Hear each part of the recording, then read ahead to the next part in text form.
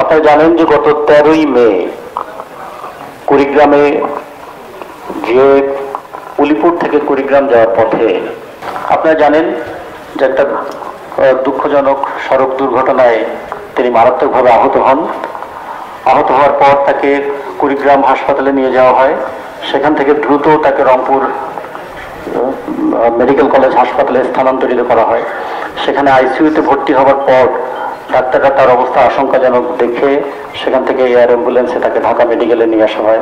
ঢাকা মেডিকেলে অবস্থার অবনতি ঘটলে তাকে বিএসএমএমইউ সেখানে নিয়ে আসা হয় এবং লাইফ সাপোর্টে সতেরোই মে থেকে গতকাল আজ আজ দুপুর দুটো পর্যন্ত তিনি ছিলেন।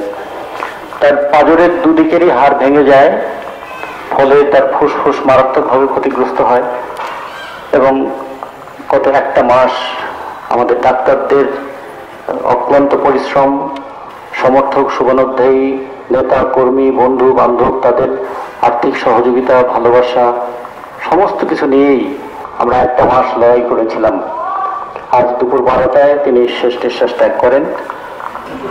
কত মানুষের যে সহযোগিতা, ভালোবাসা, সমর্থন, অংশগ্রহণ আমরা পেয়েছি।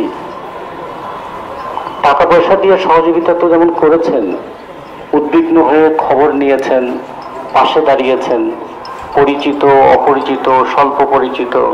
সবার কাছেই একটা কথা ছিল যে, বাসব নেতা জাহেদ লোক মিলু এখন কেমন আছেন?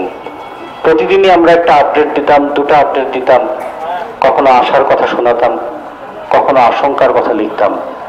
আশা আশঙ্কার এই দোলায় তুলতে তুলতে আজকে কমরেড জাহেদ লোক মিলু আমাদের মাঝখান থেকে চলে গেলেন। আমরা তার সংগ্রামের সঙ্গে ছিলাম তার স্বপ্নের সঙ্গে ছিলাম। আমরা তার সংগ্রামের সঙ্গে থাকব, তার স্বপ্নের সঙ্গে আমরা থাকব। তার স্বপ্ন ছিল শোষণমুক্ত সমাজ গড়বার, তার সংগ্রাম ছিল পুঁজিবাদ ভাঙার। তার স্বপ্ন এখনও অর্জিত হয় নাই, সংগ্রামও এখনও শেষ হয় নাই।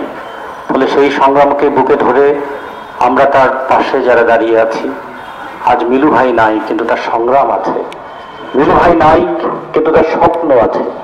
মিলু ভাই নাই সমাজের মানুষের দুঃখ আছে।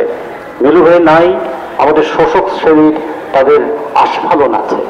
ফলে শোষক শ্রেণির সেই আস্ফালনের বিরুদ্ধে, তাদের শোষণের বিরুদ্ধে মেহনতি মানুষের দুঃখ বেদনাকে বুকে ধারণ করে আমরা আমাদের লড়াইটাকে অবিরাম চালিয়ে যাব।